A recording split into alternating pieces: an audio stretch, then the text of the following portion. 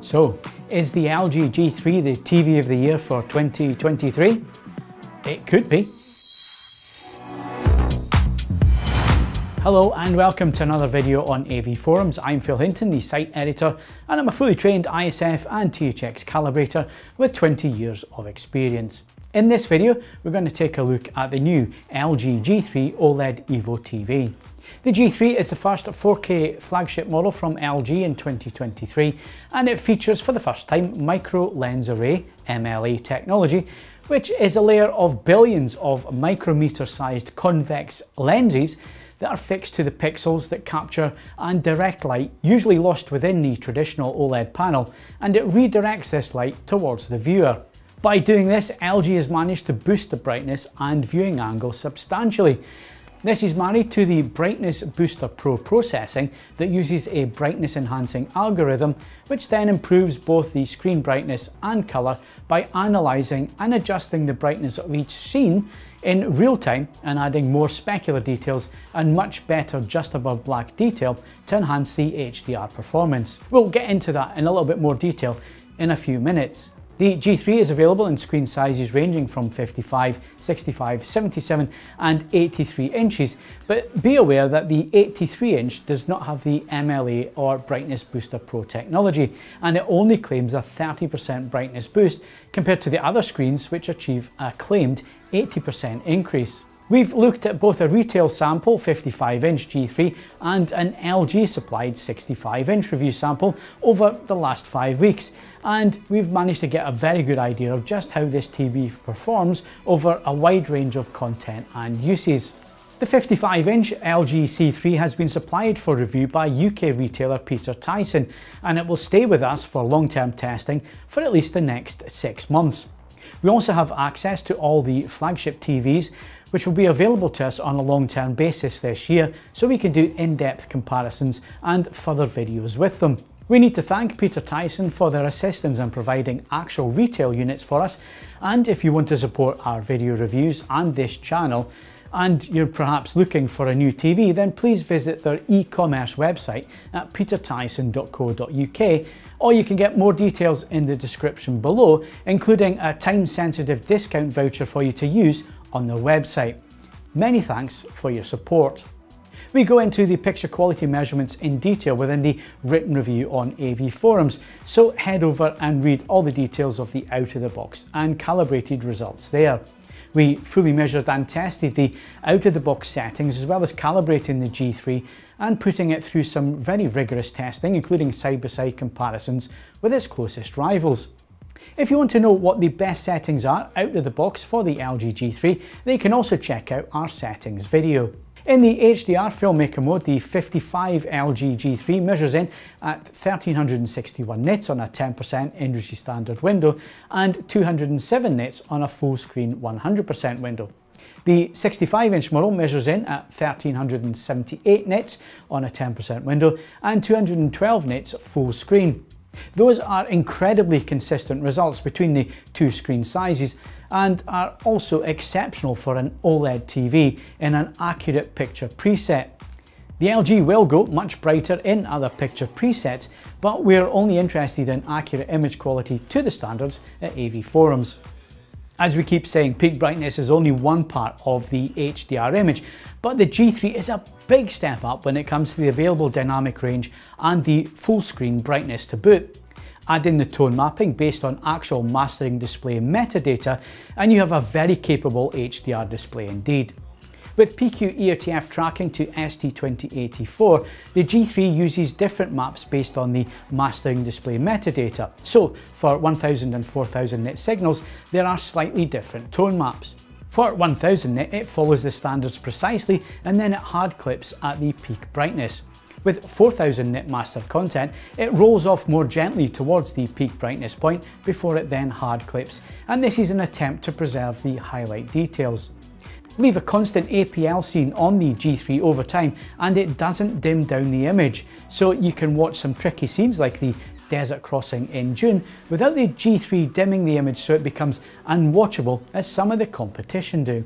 The wide colour gamut performance is also very good on the G3 with tracking points close to where they should be for saturation and the gamut size is very good indeed, providing an excellent performance for HDR content. We measured BT 2020 at 72% XY and 75% UV, with P3 coming in at 97% XY and 99% UV on the 65 inch and BT 2020 at 73% and 73% UV, with P3 at 97% and 97% UV on the 55 inch panel. Moving to screen uniformity and with a 5% brightness field pattern, we could just make out some very faint vertical bands seen when viewing in a pitch black room. However, with actual dark seen in movies, viewed in dark surroundings, we didn't notice the banding at all.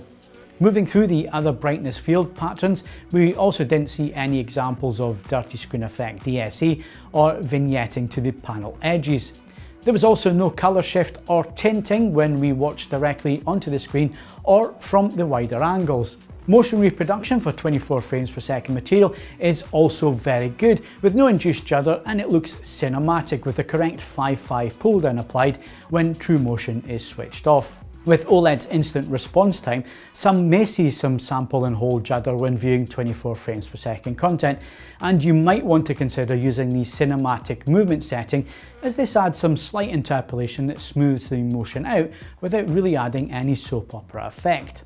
Other settings for motion under true motion add too much smoothing, uh, which also adds in some artifacts around fast moving objects, so it's best avoided. Broadcast material at 50Hz is also clean and has great motion with no signs of frame skipping or unwanted artifacts, even when there's fast cuts or movement between scenes.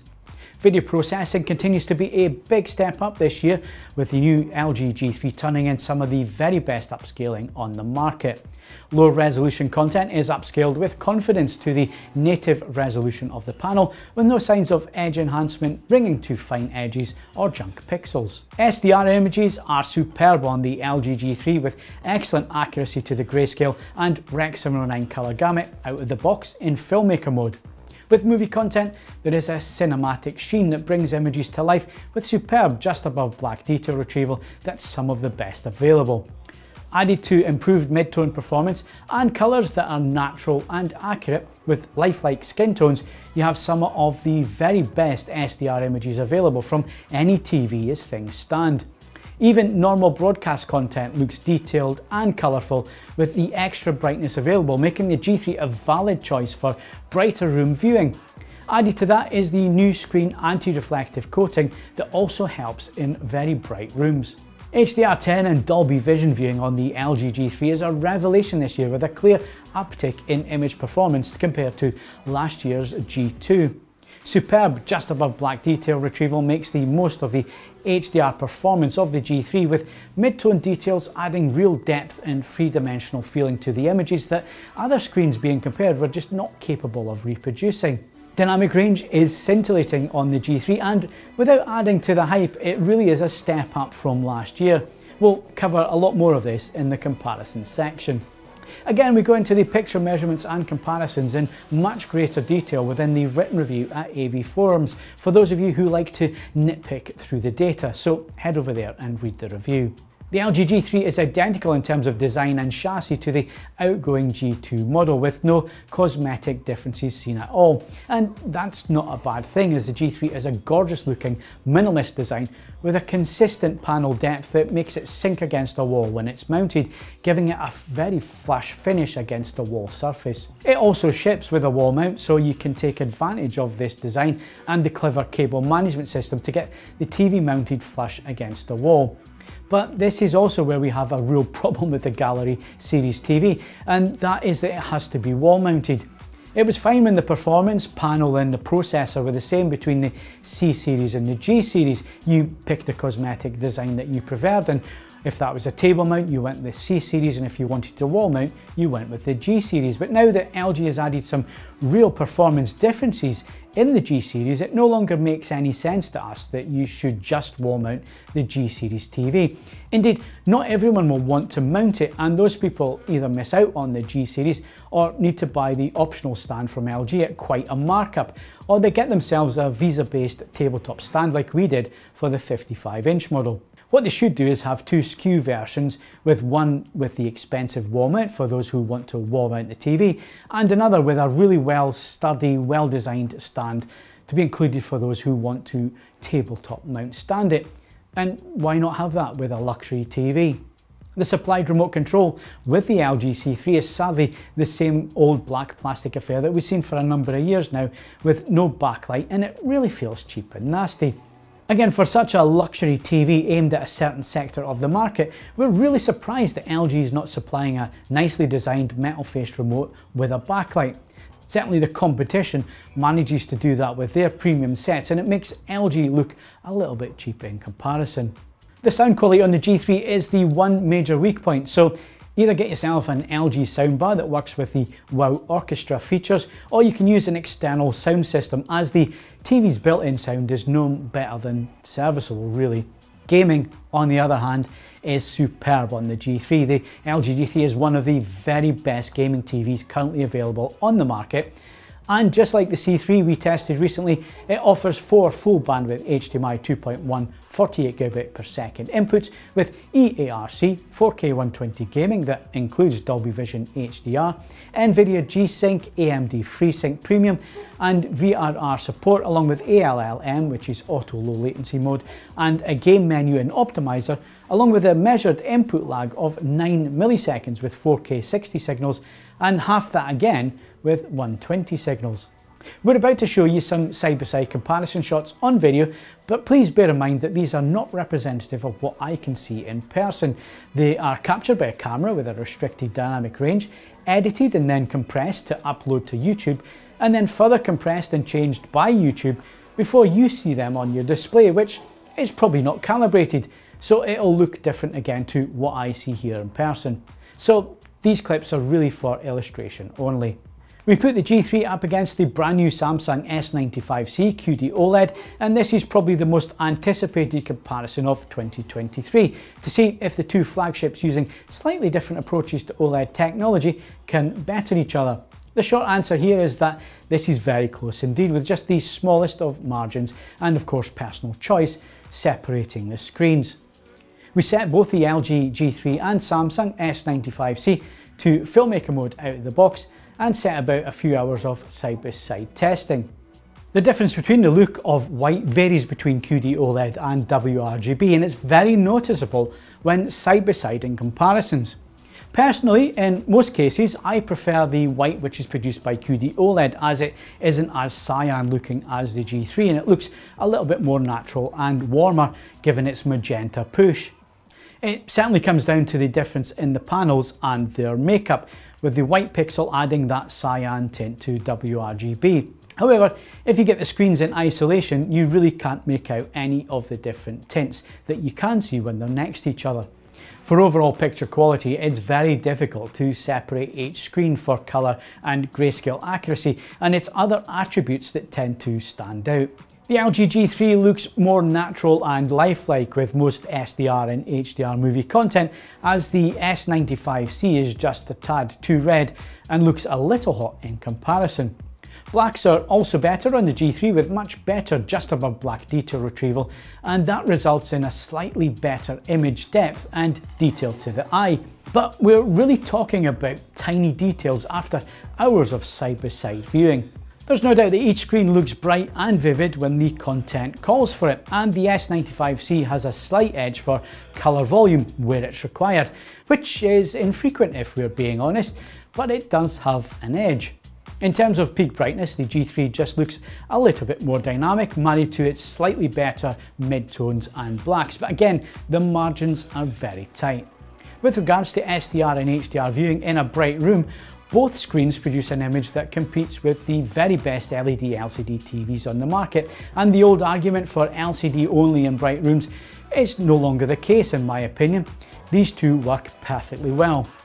The result is probably a draw, but in my opinion, the LG just pips it for overall quality with the better image processing, motion and upscaling, married to an image that just has a tad more dynamic range and depth. It also, for the majority of current movie content, matches the QD OLED for colour brightness and it only just misses out on colour volume. And the Samsung doesn't have Dolby Vision, which will be an issue for many users. If you are looking for a flagship TV this year, you have a hell of a choice to make. Both of these are stunning TVs. We will compare the G3 to other flagship TVs from Panasonic, Philips and Sony and that will happen as those sets become available. So consider subscribing to the channel to see those videos when they happen. We had one other flagship 4K TV from Samsung sitting around, the Mini LED QN95C, so we put that next to the G3 and we set both TVs to filmmaker mode. On paper, the Mini LED Samsung QN95C should be the far brighter TV in this comparison and better suited to bright room viewing. Plus, it should also have better colour volume. For SDR content, it certainly is slightly brighter than the G3, but it's not as night and day as you would imagine. And the G3 is now a TV that I would quite happily put into a brighter environment with no fears of image washout or an image that looks too dark. The new screen filter on the G3 also helps with reflections and it does so without adding a rainbow across the screen like the QN95C does. Black levels and dynamic range are better on the LG G3 with OLED's advantage shining through here with no signs of blooming or clouding that could be an issue with mini LED sets. What the QN95C does to combat blooming is to dim bright highlights that are against slightly darker backgrounds, but in doing this it kills the dynamic range seen in the image. In comparison, this is very obvious in person with the G3 able to produce stunning bright highlights next to complete black thanks to the per pixel switching of OLED. Even with the latest mini LED backlight technology and the amount of zones the QN95C has, it still has to dim down the brightest parts of the image to stop blooming. In terms of video processing, we found again that the LG G3 had the edge here for image processing, motion and upscaling, with the QN95C having a slight edge with colour volume and overall full screen brightness. Overall, I would personally pick the LG G3 given its improvement in bright room viewing, better image processing, motion and upscaling, and along with the more dynamic HDR presentation compared to the QN95C, which uses blooming suppression that really affects its overall dynamic range. Plus, if Dolby Vision is important to you, the QN95C still doesn't support the format. Come on, Samsung. So let's wrap this up. Every now and again a TV comes along that moves the game to another level. Last year it was the release of Samsung Display's QD OLED first generation panel that Samsung and Sony used for their flagship OLED TVs, which changed the TV landscape and it arrived on a wave of excitement and over the top hype.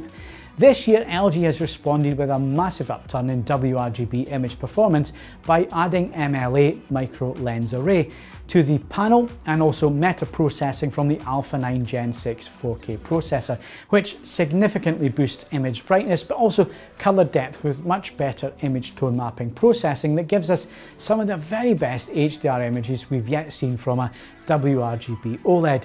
Image quality and depth are stunning with excellent black levels, superb just above black detail retrieval and stunning colour reproduction mixed with some of the best upscaling motion on the market. There's no question that LG has raised the bar with WRGB OLED image quality and taken the fight straight back to Samsung and Sony in the battle for flagship TV dominance. And this kind of competition is great. It gives anyone looking for uh, a TV to buy this year a real headache, but of course that's a great thing, having that competition. The LG G3 is certainly worthy of 10 out of 10 top marks when it comes to image quality, video processing, gaming credentials and HDR and as things stand it's definitely the best WRGB OLED TV the company has ever produced so it's a best in class. Don't forget the full in-depth review at AV Forums goes into all of this in much greater detail, so head over and check it out. And if you enjoyed this review, then please do leave us a like. And if you want to see more TV reviews from AV Forums, including our thoughts on the 2023 flagship models, then please consider subscribing to the channel. Thanks for watching.